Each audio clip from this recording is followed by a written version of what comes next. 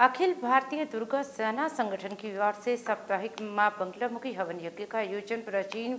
शिव मंदिर दबोरिया पुल में श्री श्री 108 महाराज स्वामी सिकुंदर जी की अध्यक्षता में किया गया, जिसमें आचार्य पंडित चक्रदेव जोशी ने वैदिक मंत्रोच्चारण कर, सभी देवी देवताओं का वाहन कर, अग्नि प्रज्वलित कर हवन यज्ञ का शुभारंभ किया।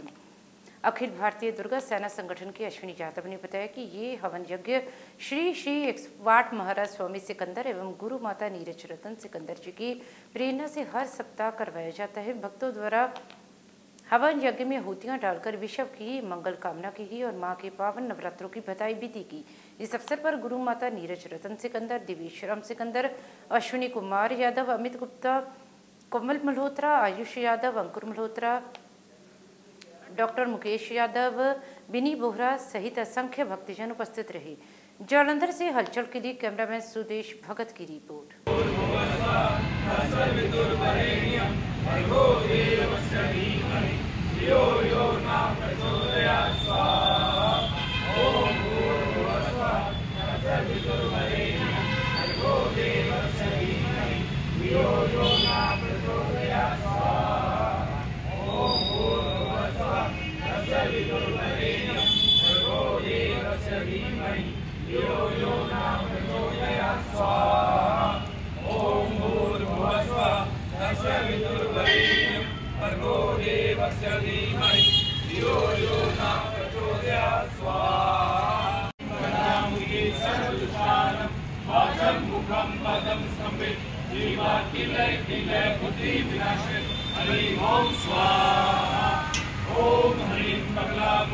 बगलामुखी सर्वदुष्टानं वाचं मुखं पदं सम्यक् जीवा किलय किलय बुद्धिविनाशे हरिं ॐ स्वाहा।